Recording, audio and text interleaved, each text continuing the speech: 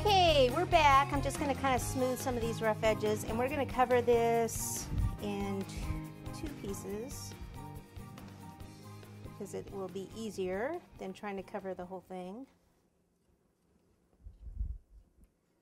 Okay, so this is the front and the back. This is these are the sides. So let me actually take it off this board first.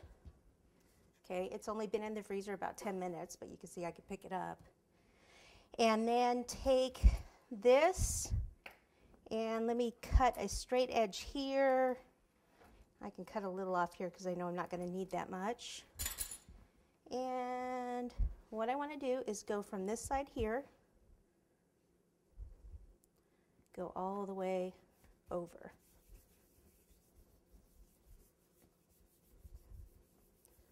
Okay, down here, pizza cutter. And then on the sides, whatever you want to use, I like this.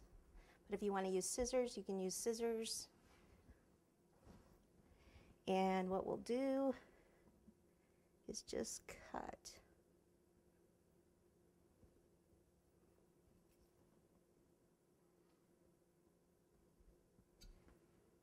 Okay, you can kind of fold it over a little bit, but you don't want too much to overlap there on the sides.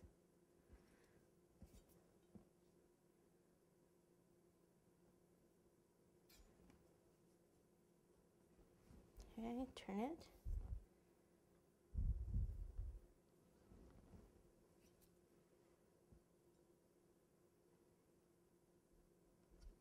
There we go.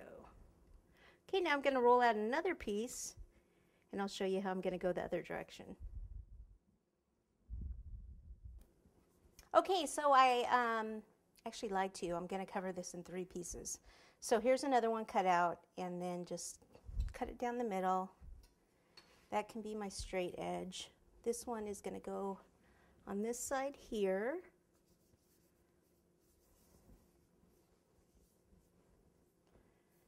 Okay and then trim, make sure that's clean.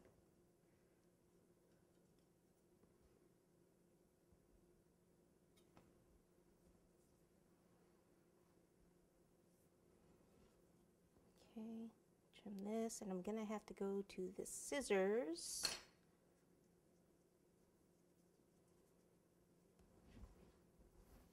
Okay, so this is going to be one of the parts that kind of folds in. So it would need to kind of fold past the halfway mark and then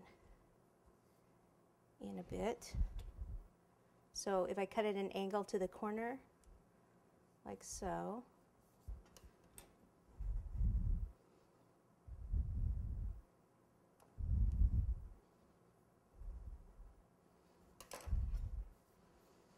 and then I can come back and trim like this edge, turn it so you can see, and this one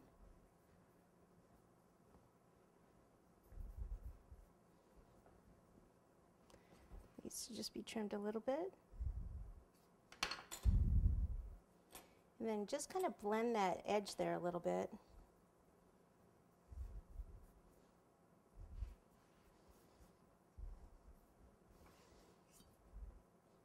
Straighten this up because you're going to see this part. Let me actually get like this veining tool here because I can actually get in there and then I need to clean this line up.